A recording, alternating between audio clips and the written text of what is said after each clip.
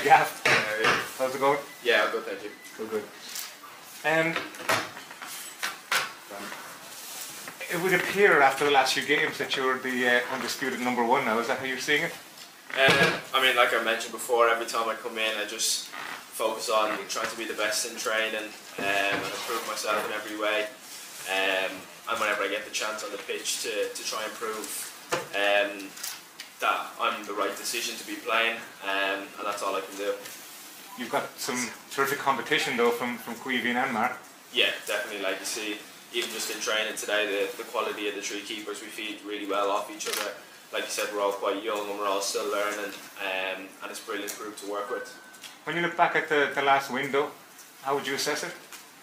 Um, I think it was quite positive in terms of performances. Um, I think the, the results definitely could have gone uh, more our way. I mean, if we keep going the way we're going and putting in these quality performances, uh, I'm sure the results will come. And it was brilliant to see uh, players like Andrew coming through and making their debuts. Um, and I suppose the belief and the quality that we played with in the games was uh, really promising. Even though the result didn't go our way in the end, the, the performance against Portugal was pretty memorable. And, and for you, the penalty save, did you get much reaction when you went back to your club? I did, yeah. You have a lot of people asking me what, what it was like, um, but like you said, the performance was um, was outstanding that night. We just didn't get the result; it didn't go our way in the end, but it shows real promise for uh, upcoming games. But back specifically to the penalty against Ronaldo, I mean, you know, had you thought about what you were going to do beforehand? Had you studied him? Uh, yeah, so before every game, I look at penalty takers, and I spoke to uh, Dean Kiely before the game if it was Ronaldo or Fernandes that was going to take it, and um, the different run-ups that they might have, and what side I was going to go to, depending on, on his run-up, and I stuck to my gut, and uh, I was able to make the save, which was brilliant. And I suppose it particularly uh, impressed your Manchester City colleagues. Yeah, yeah. So it was uh, it was very nice to be able to do it in front of some of them. Um, just you know, make that even more bit special. Well, best of luck for this weekend. Thank you very much. Gavin, has uh, have things changed for you since those sort of high-profile performances for Ireland? Have you been recognised more? Are, are people judging you differently? Uh, I'm not too sure. I don't really think about that too much. I just try to focus on my own game, and um, I mean, the most important thing after that game was to, to back it up because uh, I suppose at that moment, it's as much as it's special, it doesn't mean anything if you can't go and then put in some performances at your club. So that's what I was um, most focused on. So I was happy I was able to perform quite well in my recent games. And in terms of the game at the weekend against Azerbaijan, obviously the group has gone, qualifications gone. So what are Ireland playing for? Um, I mean, every time you step on the pitch, you play to win. That's the main focus. Uh, and for us as a group, uh, I suppose it's to, to show uh, progress from where we've come from. I mean, like I said, I think we showed that in the, the previous games we played in the last window.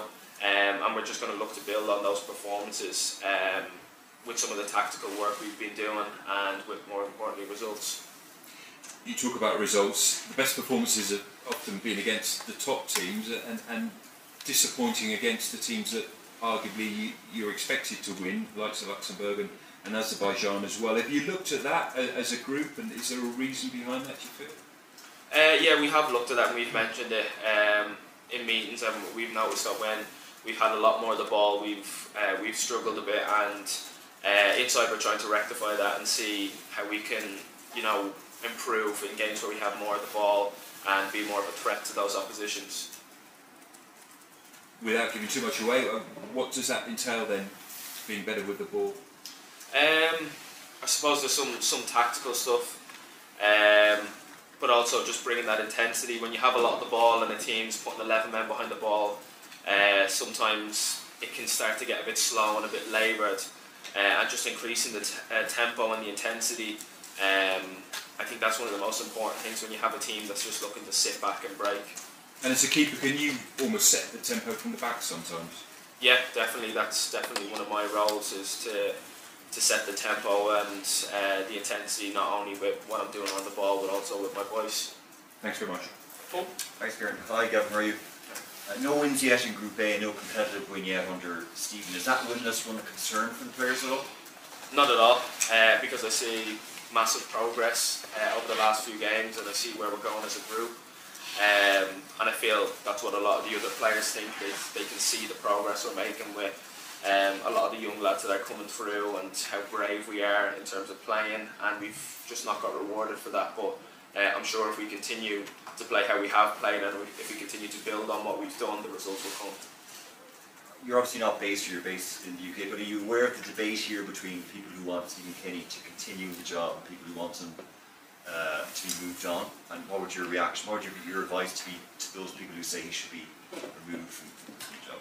Um, no, I wouldn't be too aware of, you know, what the opinions are of other people, but I think the most important thing is to look at us as a group, look at the recent games we've played, uh, look at the game against Portugal, the game against Serbia, um, look at the amount of young players that have been integrated into the squad.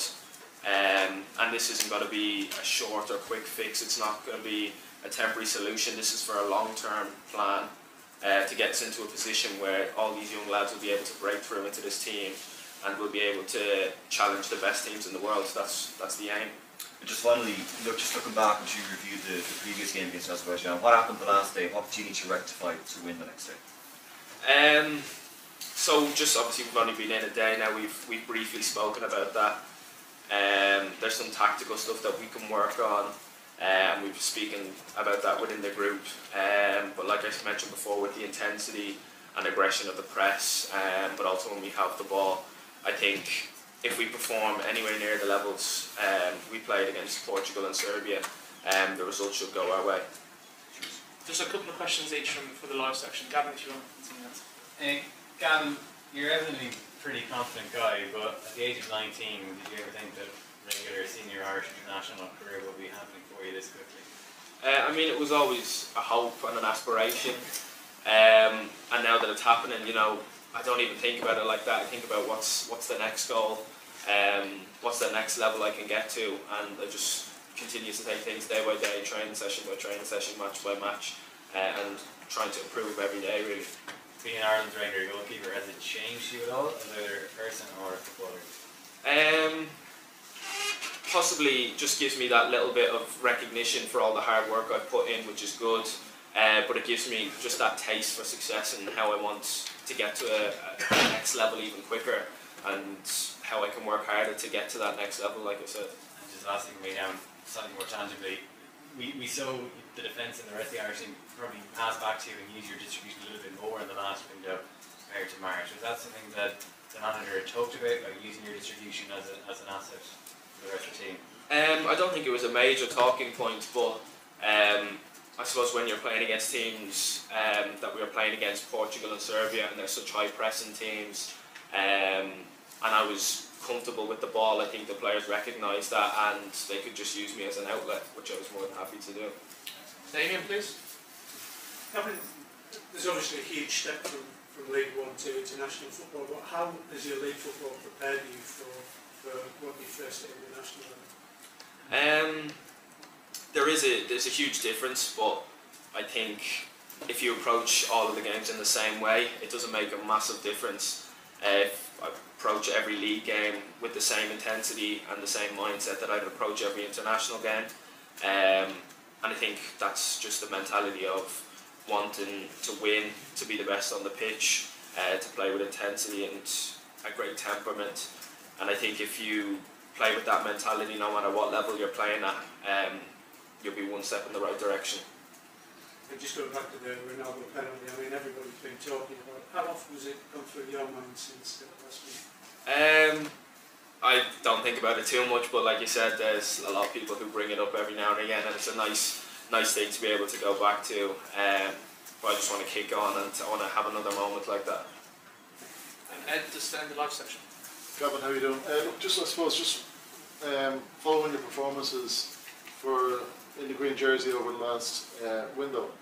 Um, did you have a conversation with Manchester City about you know that performances and whether are they in its monitoring your situation? Would they be able to call you back, or are you uh, are you um, sort of uh, contracted to Portsmouth for the for the full season?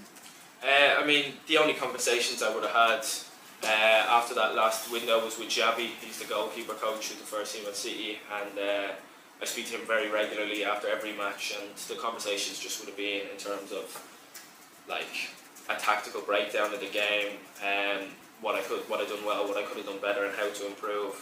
There was no no conversations about anything else other than what I did on the pitch.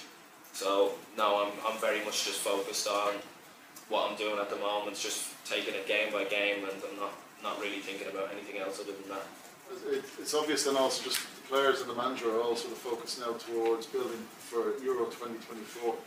Uh, would the players, you think, um, be more comfortable to know if, if the manager is in place for those for that full campaign and you know, so that you can also uh, start really beginning that journey together? Um, I mean, from the players' point of view, like we're not even really thinking about that. Like said, we're just thinking about the next game, and um, we're taking all the information that we're getting from the manager and Keith and Anthony, and it's it's it's really been brilliant. Um, and like I said before, we've seen the, the progress that we've been making, and we're just going to look to continue to build on that um, and take it game by game because the most important thing for us is now on Saturday focusing on that game. We're not thinking uh, any further ahead of that. Okay, we're just going to start the embargoed section now, if that's alright, just run out of time in the live section. Uh, if you want to raise your hand, if you want to ask a question in the embargoed section, it is 11pm tonight, the embargo. Gavin, if you want to pick this off. Gavin, Gavin, how, how you doing? Um, it, just looking at yourself and Queevy, you played 900 minutes. Hugh Mark played 900 minutes this season. He's only played 90. You know, obviously, there's a huge benefit of you being on long enforcement. and There's a huge benefit of him sitting on the Liverpool bench. But what's your feeling of what's the best way for, suppose you get international caps? Like, is it Championship, League One, or Premiership bench? So what's your what's your take on it all? Um, my opinion was always game time was the most important thing. That's why I went on loan to Rochdale and now gone on loan to Portsmouth. Um, I'm 100% sure that I wouldn't be anywhere near the position I am now without having that backing of games, having that experience, and um, really that this confidence just because of the amount of games I've, I've got under my belt. Um, so for me, in my opinion, uh, playing games is the most important thing. And, and just in a more general, on the same topic, not you, you can see why you're at Portsmouth, you can see why Creedy is at Liverpool. You see Callum Robinson doing so well. So many Irish players are really thriving in the championship, yet guys who are equally skilled are really struggling for premiership minutes. Jeff Hendrick, go on and on, squad. What, what, in your view, what's the best fit for this, this squad at the moment? Is it to be playing top, like promotion, in top level championship, or what's, what's the level that you'd like to see most lads playing? Um, You understand it's quite difficult. you know? Yeah, yeah, I understand that. I suppose it's it's really down to the players. Um, you know, different players have different aspirations and goals. Um, you know, it can be difficult for some players to be to be playing, like you said, in the Premier League and struggling a bit, uh, versus some players who are playing in the Championship and really thriving. Um, but at the end of the day, it's down to those players. If they if they believe they're good enough to step up and play in the Premier League, you know, all credit to them. Um, but I, my personal opinion is you should always try and play at the highest level as you can. Philip, please. Thanks. Uh, Gavin, um, Ederson's first half pass yesterday uh, put Foden in behind Milner was something special. Sure you watched it, you approved of it. Uh, have you got that in your locker? Um, I'm working towards it definitely. I mean, uh, he's definitely he's a, he's a special goalkeeper. He's changed uh, the way the game's being played, and I definitely take a lot of um, learning from the way he plays. Uh, obviously, I want to have my own my own build, um, but definitely with the way he's changed modern goalkeeping, I think there's a lot of things, uh, lot of positives that I can take from his game and try to add to mine. And a follow up, if I may. I know you're talking with the Man City coach, goalkeeping coach regularly. Do you have much interaction with Ederson as a matter of interest? Um, I wouldn't have any interaction other than when I'm in training with them. Um, so no, it's just just with Xabi, the goalkeeper coach. Thank you. Anyone? Anyone? No? We'll go again. John, John, go, Dennis. Yeah, okay. Um, look, I'm just um, sort of following up on Gavin's question just about the trajectory of goalkeepers.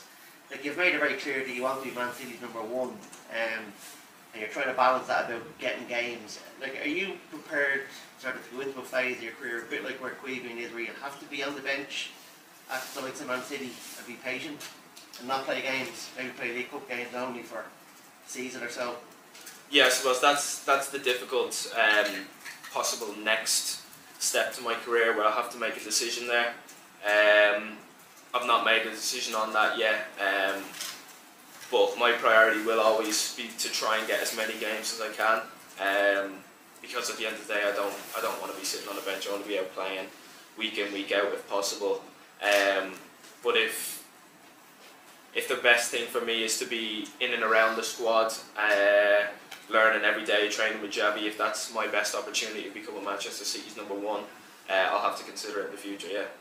And, and just linked to that, there's also community criteria then your international place and that it's very clear you, you have this now ahead of the lads because you're playing every week. Whereas that might be the case.